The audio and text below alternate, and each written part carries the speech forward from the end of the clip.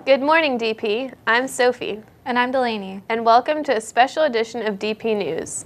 This is the final show of the first semester, and we look forward to seeing you again next week.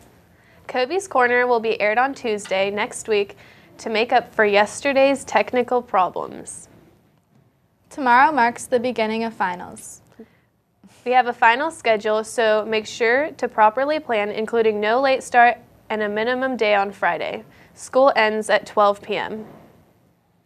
Local Color Art and Literacy magazine is accepting submissions for the 2014 issue.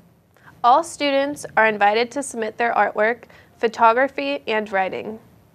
Please submit pieces to dplocalcolor at gmail.com or bring your artwork to room T5. There will be a girls' swim meeting today at lunch in B4. Bring your lunches, and we will talk about the upcoming swim season. Boys volleyball tryouts will be held next Tuesday, the 21st, bright and early at 6:30 a.m. in the gym. Here's players with more. Tomorrow, girls basketball plays at Santa Barbara with varsity playing at 7 o'clock, so be sure to head out there and support our girls. Boys basketball plays crosstown rival Santa Barbara in their gym on Friday. Head over and cheer them to a win. Have, a great finals week, and we'll see you next semester. Hey, what's up, DP? It's Eli here.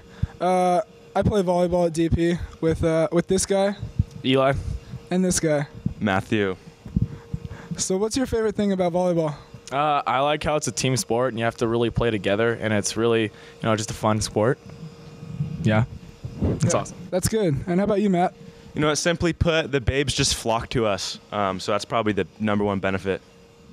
Yeah, it's insane. It, it really is. really is. Uh, so tryouts are January 21st. It's a Tuesday, 6:45 in the morning. Uh, be there. Just have fun. Hang out with these two, these two men right here, and me.